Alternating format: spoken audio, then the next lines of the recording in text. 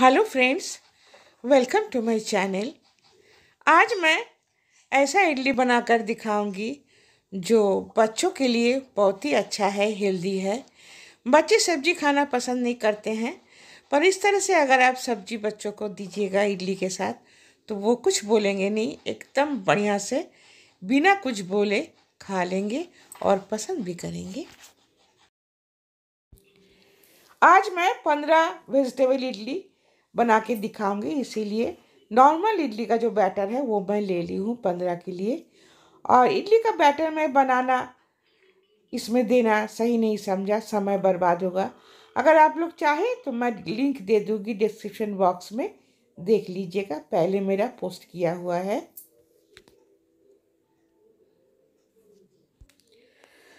थोड़ा मैं तड़का लगा दूँगी इडली का बैटर में, इसीलिए एक कलछुल। गैस पर चढ़ा के उसमें एक चम्मच सरसों के तेल डाल दी और उसमें एक चम्मच साबुत सरसों और दो तीन मैं लाल मिर्च तोड़कर डाल दी और करीब दस बारह करी पत्ता उसमें चटका कर पहले तो इसे ठंडा कर लूँगी मैं। ये तड़का नहीं है, इसीलिए मैं ठंडा करके उसके बाद मिलाऊँगी इडली का बैटर में। इसीलिए इडली का बैटर में मैं ये सभी मसाला मैं डाल दी। अब मैं जितना भी छोटा छोटा सब्ज़ी काट कर रखी थी, ये बीन्स मैं करीब तीन चम्मच बीन्स एकदम बारीक काट कर रखी थी और एक बड़ा सा गाजर को मैं कद्दूकस के रखी थी और दो चम्मच हरा धनिया उसे भी मैं काट कर रखी थी, उसे भी डाल दी। हरी मिर्च इसमें डाला जा सकता है, पर मेरे घर में बच्चे हैं, इसलिए मैं हरी मिर्च नहीं डाली। अब इसे अच्छे से एकदम मिक्स कर लेना होगा। सब्ज़ी और बैटर हम लोग का मिक्स हो गया है और तैयार है। अब चलते हैं इडली बनाने। एक बड़ा सा पतीला मैं गैस पर चढ़ा दी, उसमें एक गिलास पानी डालकर अब खोलने के लिए छोड़ दूँगी। दूसरी तरफ़ मैं इडली का जो छाछ है, उसमें तेल थोड़ा थोड़ा ब्रश कर ले रही हूँ। जैसे इडली का बैटर नीचे लगे ना अच्छे से निकल कर आ जाए।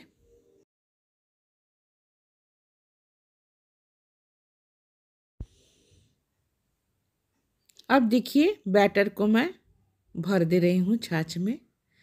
ज़्यादा भरना नहीं है, सिर्फ़ लेवल तक भरना है, क्योंकि ये फूल जाता है।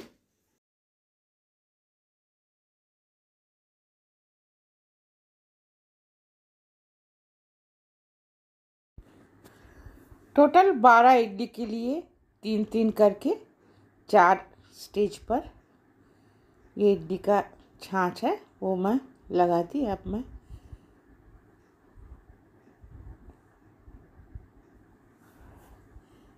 देखिए पतीले के अंदर मेरा पानी एकदम खोल रहा है, उसके अंदर डालकर सेट कर दूँगी।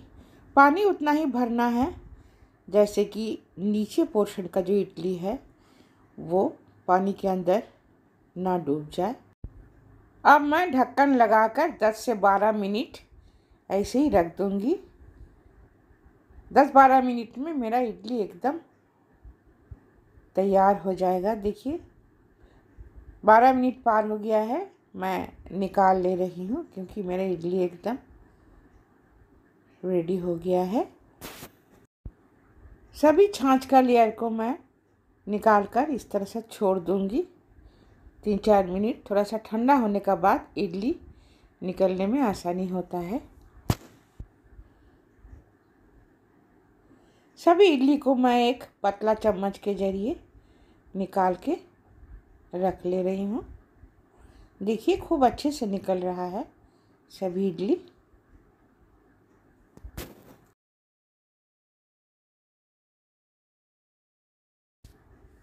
अब मैं इडली को प्लेट आउट कर दी हूँ। इसके साथ नारियल का चटनी एक कटोरी में डाल के आप इसे परोस सकते हैं। और इडली एकदम फुरफुरा बना है, बहुत ही टेस्टी बना है। देखिए, एक इडली को मैं तोड़कर दिखा रही हूँ। अंदर कितना कलरफुल लग रहा है। गाजर और उसके साथ हरा हरा बीन्स और हरा धनिया बहुत ही अच्छा लग रहा है। इडली बना भी बहुत स्पॉन्जी और ये इडली खाने में भी बहुत टेस्टी लगेगा। ओके फ्रेंड्स आज यहीं पर समाप्त कर रही हूँ मेरा वीडियो।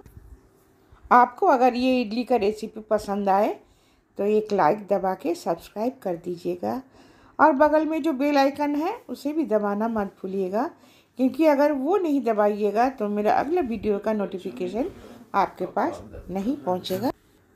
ओके फ्रेंड्स आज यहीं तक बाय नमस्कार।